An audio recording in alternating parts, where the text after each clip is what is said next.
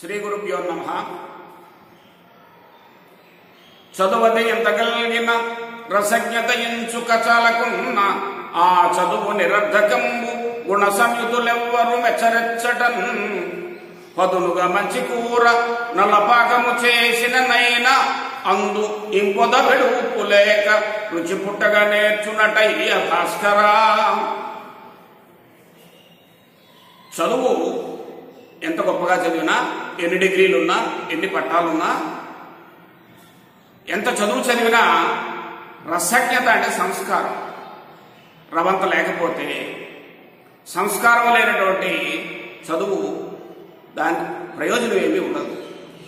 ఆ చదువు నిరర్థకము.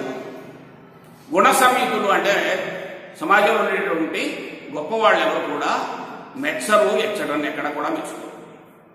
పదులుగా మంచి కూరని అలా పాకము చేసిననైనా చక్కనైనటువంటి కూరని నలభై పాకం తయారు చేసినట్టు తయారు చేసి వడ్డిస్తే అందులో ఉప్పు లేకుండా వడ్డించామనుకోండి రుచి పుట్టగా నేర్చుకున్నట్టయ్యా భాస్కర ఆ కూరకి రుచి ఉంటుందా?